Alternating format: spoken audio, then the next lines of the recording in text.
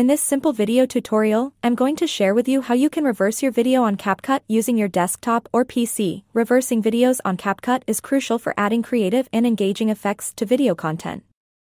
It allows creators to introduce unique visual elements, such as scenes playing backward, which can captivate viewers and add a layer of complexity to storytelling.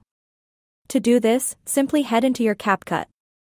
To import a video from your files, simply tap right here on Import and then to choose a video will get added just like mine right here. I am going to duplicate this same video right after this first one. So, to reverse this video, you will have to left click and then right click on it again to get to these options. Head into this edit option. Select on reverse. Your video will get reversed successfully. The first clip is original and the second is reversed. This is how it came out.